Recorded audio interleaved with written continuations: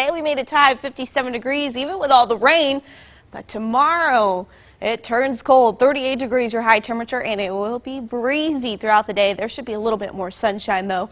Temperatures are much colder than the same time yesterday, 11 degrees colder uh, in Dayton. But notice all that cold air off to the west, and that's going to continue to make its way into the Miami Valley. We're seeing a couple of cold fronts make their way through. Right now, one already impacting us. That's why our temperatures have dropped as about 10 degrees already. And then we're going to see another front move through. In between that, a lot of rain is expected and even, yes, some snow. You could see the blue colors on Live Doppler 2 HD moving into Indianapolis. Now, there has been snow reported there into western Indiana. That's going to push its way into the Miami Valley. But for now, we still have a couple of hours, about three hours of some light to moderate rainfall that's going to continue to move in from the southwest. Uh, weather checkers have reported anywhere from about 7 tenths of an inch all the way to 8 tenths of an inch there in Beavercreek, Kettering, and into Springboro. So we've seen some decent rainfall totals across the Miami Valley with off and on rain into the day. That was there on our Duncan Oil Company camera in Springfield.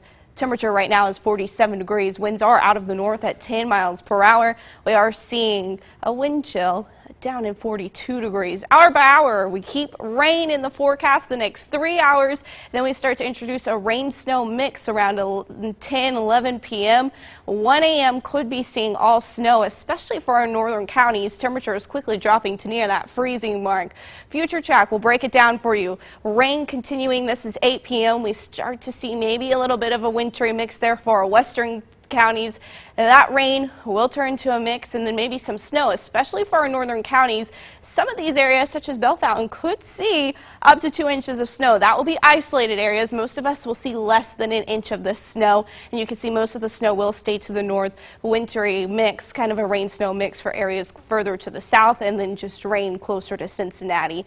Future track does move the clouds out and does produce some more sunshine as we head into Sunday morning. Tonight, 28 28 degrees. We'll see the rain snow mix. Winds will be out of the northwest breezy even into tomorrow. It'll be much colder. Your temperature, your high, that's your high for tomorrow, 38 degrees. The next 10 days we are going to be starting off colder, but temperatures will be back above normal as we get toward the end of the middle of the week to the end of the week.